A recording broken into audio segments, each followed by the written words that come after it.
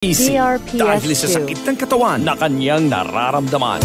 Ah, ako po si Narciso Dalag, taga Barangay Mayana, Giwan Eastern Sama at ako'y nasa edad na 69 years old po. Bali mayroon ako tendonitis na sakit. Ang hirap buong katawan ko masakit. Hindi masyadong kompleto ang tulog ko. Lagi akong puyat. Walang gas na ikain. Masakit ang katawan. Masakit ang ulo dahil nasa pupuyat. So sinubu sinubukan ko itong Mark Choco 9-in-1 plus 1. So ayun, yung DRPS2. gamitin ko siya, unti-unting nag-improve ang katawan ko, unti-unting nawala ang tendonitis, yung pananakit ng katawan, saka yung pagtulog ko ay na-improve. So hayon nakakapag-gawa na ako ng mga dati kong gawain dito sa bahay. Inaanyayahan ko po ang lahat na wag nang mag-atubiling gumamit ng Mark Choco 9-in-1 plus 1 dahil ito ay garantisadong nakapagbibigay kabutihan sa aking kalusugan lalo na sa may mga karamdaman tulad ko noon. Mag Mark Choco Mix 9-in-1 plus 1 DRPS2. chocolate drink with stevia araw-araw. Mabibili na ang Mark Choco Mix 9-in-1 plus 1 chocolate drink sa inyong paboritong sari-sari store, grocery at supermarkets dito sa ating lugar.